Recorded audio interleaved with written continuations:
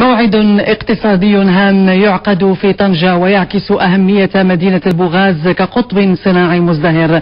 بفضل العديد من المشاريع الهيكلية التي شكلت الأساس لأرضية صناعية ولوجستيكية تشجع على جلب الاستثمارات. مخطط الإقلاع الصناعي يدشن اليوم مرحلة جديدة تتجسد في أهمية الاتفاقيات السبعة التي تم التوقيع عليها. نزار بركة وزير الاقتصاد والمالية يقدم معطيات بهذا الصدد. وكما تعلمون آه، الصناعة فهي تعتبر آه، أداة أساسية لعصرنة وتطوير الاقتصاد الوطني.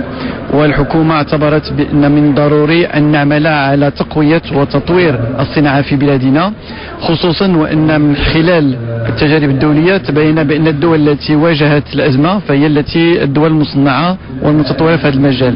ولذلك في هذا الإطار فاليوم سنقوم بأولا وضع تقييم حن ما حققنا في هذا المجال. وقع تطور مهم الحمد لله.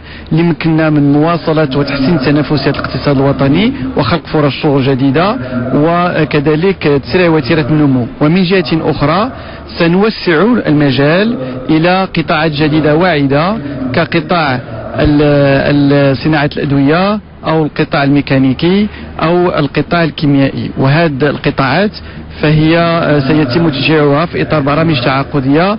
سيقدم ستقدم الدولة دعم مالي وكذلك آه، دعم خاص في إطار التدابير المواكبة التي من شأنها أن تطور هذه القطاعات.